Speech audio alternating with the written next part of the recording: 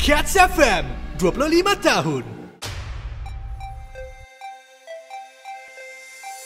Kami si pernah terfikir pun nak jadi penyampai radio uh, dan saat yang bermula apabila masa saya kami masih bergelar sebagai crew Cats Power Rangers, kami nanggap penyampai yang lain macam Wow, bestnya jadi DJ radio tu. So, mulai dari saatnya kami start belajar seorang diri, training seorang diri, nangga DJ-DJ yang sedia ada, DJ-DJ yang lain sebagai reference. Dan kami padah dengan Big Boss, kami padah dengan ketua kami uh, tentang hajat kami. Dan mula-mula diragui tetapi selepas beberapa minggu kami suarakan lagi sebab kami jenis yang mesti dapat uh, dan akhirnya walaupun macam Big Boss madah mana cerita kau tak nak on air mana cerita kau nak jadi DJ radio.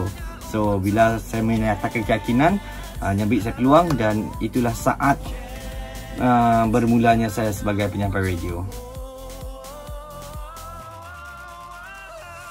Mun kami jadi penyampai radio, of course kami akan jadi seorang kaunselor dalam pendidikan. Sebab kami ngambil uh, ambil belajar dalam bidang ya uh, dan dah graduate dah pun. So, ya, yeah, uh, mun rezeki mi ada di sia memang mun bukan DJ radio, of course lah sebagai kaunselor di sekolah. Hmm, gitu.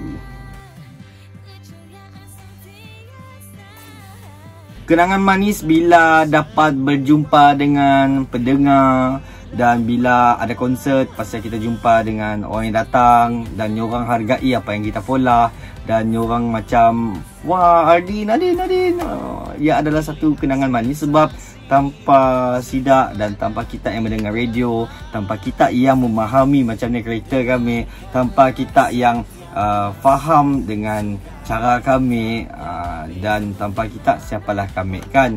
So ya adalah antara kenangan manis apabila dapat berjumpa dengan pendengar-pendengar orang yang kenal lagi lah. So thank you so much. Uh, yes. Uh, kami amat menghargai kehadiran kita dalam hidup kami. So thank you cats sebab beri kami peluang untuk jadi sebahagian daripada Cats FM. Selamat ulang tahun ke-25. Nang Cats FM 25 tahun